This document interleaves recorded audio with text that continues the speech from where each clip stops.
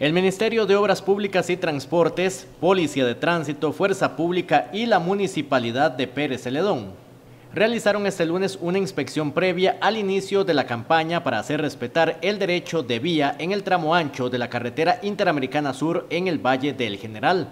A partir de mañana a las 7 de la mañana hasta el viernes.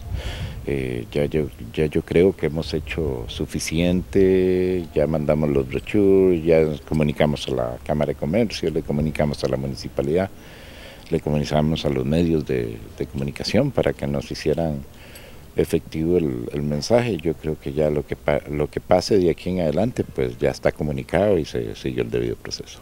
La idea fue analizar cómo se encuentra este sector para comenzar este martes con los procedimientos que se tienen que hacer a lo largo de todo el tramo.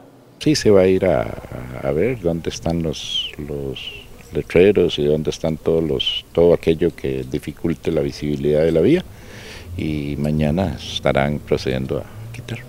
25 metros hacia los costados desde el centro de la calzada es el espacio de derecho de vía que se hará respetar por parte de las distintas instituciones encabezadas por el Departamento de Inspección Vial y Demoliciones del Ministerio de Obras Públicas y Transportes. Bueno, nosotros vamos a establecerlo desde el puente del Jilguero hasta Juntas de Pacuar inicialmente. El derecho vía se mide de la mitad de la calle, de los cuatro carriles, a cada lado 25 metros.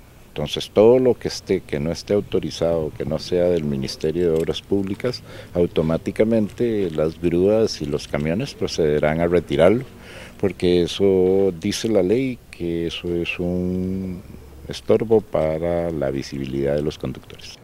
Otro de los aspectos que destacan es que además de una demolición, las personas se exponen a multas por la invasión del derecho de vía. Hay una multa de 450 mil aproximadamente pero no es tanto la multa, sino el hecho de que también puede, pueden, ¿cómo se llama?, cancelar las patentes. O sea, esto es un operativo interinstitucional, lo hace la municipalidad, lo hace el MOB, lo hace la Cámara de Comercio. Entonces, en este momento creo que estamos todos en el mismo, en el mismo idioma. Se espera que las obras comiencen a primera hora de este martes 5 de febrero.